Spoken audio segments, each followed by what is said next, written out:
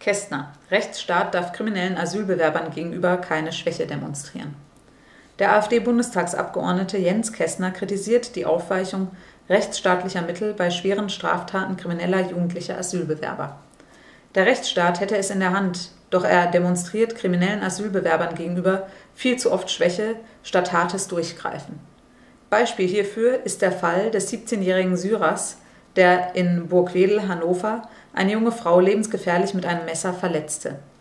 Die Anklagebehörden gingen bei dieser Tat nicht von einem Mordversuch, sondern zuerst von einer versuchten Tötung aus, bis man schließlich von gefährlicher Körperverletzung sprach, die ein Mindeststrafmaß von lediglich sechs Monaten vorsieht.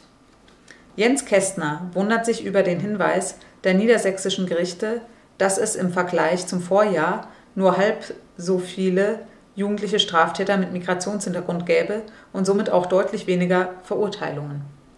Zahlen des Landeskriminalamtes belegen hingegen eine Zunahme schwerer Körperverletzungen, begangen von eben dieser Tätergruppe. Die 24-jährige Frau wurde lebensgefährlich verletzt, wurde ins künstliche Koma versetzt und erst jetzt geht es ihr langsam besser. Dass sie nicht durch weitere Messerstiche tödlich verletzt wurde, liegt daran, dass der Täter gestört wurde. Andererseits wäre die Frau jetzt tot, erklärt Kästner.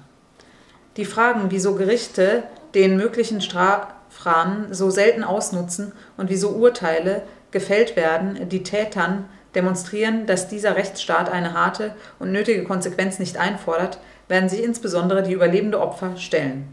So Kästner. Liken, abonnieren, verbreiten.